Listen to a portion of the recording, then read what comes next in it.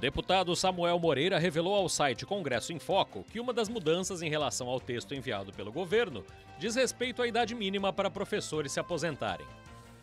Hoje, essa idade é de 55 anos para homens e de 50 para mulheres, e a proposta é que esse limite seja estendido em 5 anos, ou seja, professores homens vão passar a se aposentar aos 60 e mulheres aos 55 anos. A comissão deve votar em agosto o substitutivo e, logo em seguida, a proposta deve ser enviada para a Câmara para votação. A expectativa do governo é que em outubro a proposta esteja aprovada e pronta para ser sancionada pelo presidente Jair Bolsonaro.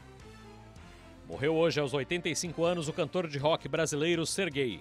Ele estava internado em um hospital de Volta Redonda, no Rio de Janeiro, havia um mês, com um quadro de desidratação, desnutrição e infecção urinária. Ele também sofria nos últimos anos com o mal de Alzheimer. Conhecido pelo visual exagerado, Sergei participou de festivais, cantou na primeira edição do Rock in Rio e ficou conhecido também por ter namorado a cantora Janis Joplin.